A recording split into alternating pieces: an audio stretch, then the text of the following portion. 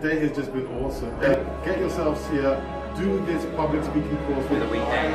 Fantastic experience, lots of learning to take home, but above all it was... And uh, give me more confidence for I've learned so many things. Learned how to use our um, voice in an effective way, have stories, I just love to know a way through.